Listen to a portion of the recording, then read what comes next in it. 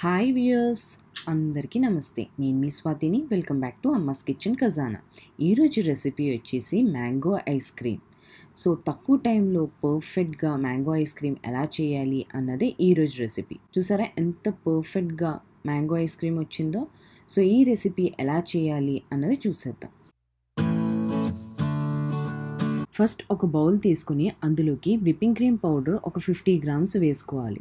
దాని తర్వాత ఇందులోకి పాలు నైంటీ ఎంఎల్ వేసుకోవాలి. ఇక్కడ పాలు ఫుల్ ఫ్యాట్ మిల్క్ యూస్ చేసుకున్నాను. ఇది సకానికి పాలు ఇంకిపోయేటట్టు మరిగించుకోవాలి. దాని తర్వాత ఫ్రిడ్జ్లో పెట్టి చల్లారబెట్టుకున్న పాలు ఇందులో యూస్ చేసుకోవాలి. ఇదంతా కలిసేటట్టు ఒక ఫైవ్ మినిట్స్ హై మోడ్లో మిక్స్ చేసుకోవాలి. ఆల్రెడీ వెనీలా ఐస్ క్రీమ్ ఎలా ప్రిపేర్ చేయాలి అన్న వీడియో నేను పోస్ట్ చేశాను. దాని యొక్క లింక్ కింద డిస్క్రిప్షన్ బాక్స్లో ప్రొవైడ్ చేస్తాను. ఆ విధంగా ఐస్ క్యూబ్స్ పెట్టుకుని చేసినా కూడా టెక్స్చర్ చాలా బాగా వస్తుంది. నెక్స్ట్ ఇందులోకి మిగిలిపోయిన వన్ టెన్ ఎంఎల్ మిల్క్ కూడా వేసుకుని బాగా మిక్స్ చేసుకోవాలి. ఒక ఫైవ్ మినిట్స్ అంతా కలిసేటట్టు మిక్స్ చేసుకున్న తర్వాత ఇందులోకి ఒక teaspoon vanilla essence add చేసుకోవాలి. ఇక్కడ వెనీలా ఎసెన్స్ ఆప్షనల్ మీకు మ్యాంగో ఎసెన్స్ ఉన్నా కూడా వేసుకోవచ్చు. దాని తర్వాత ఇందులోకి కండెన్స్డ్ మిల్క్ ఒక వన్ ఎయిటీ ఎంఎల్ వేసుకుని బాగా మిక్స్ చేసుకోవాలి. దాని తర్వాత ఇందులోకి two cups mango puree add చేసుకోవాలి.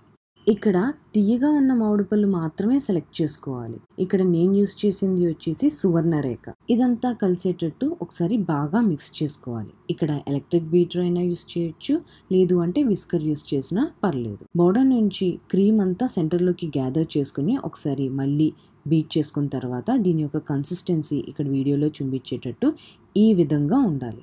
దాని తర్వాత ఒక ఎయిర్ టైట్ బాక్స్లోకి ట్రాన్స్ఫర్ చేసుకొని ఇక్కడ మ్యాంగో ప్యూరీ ఈ విధంగా డిజైన్ చేసుకోవచ్చు. లేదు అంటే అక్కర్లేదు.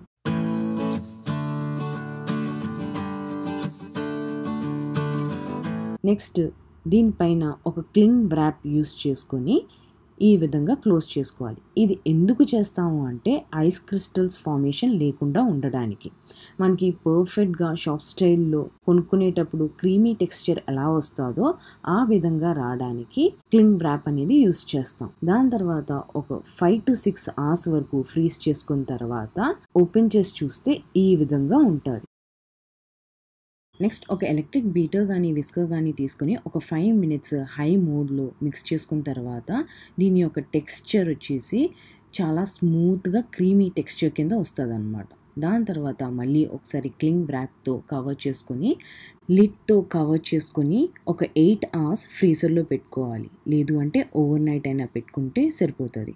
నెక్స్ట్ డేకి ఐస్ క్రీమ్ చాలా పర్ఫెక్ట్గా వస్తుంది. చూసారా? ఇక్కడ వీడియోలో చూపించేటట్టు ఈ విధంగా పర్ఫెక్ట్ టెక్స్చర్ అనేది వస్తుంది.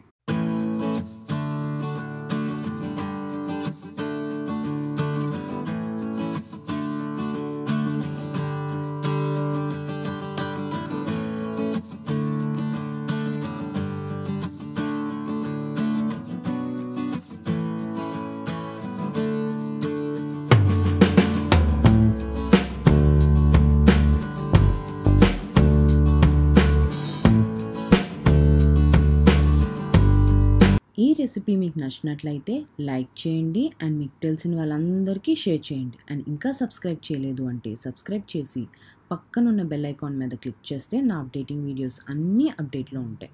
Enjoy the day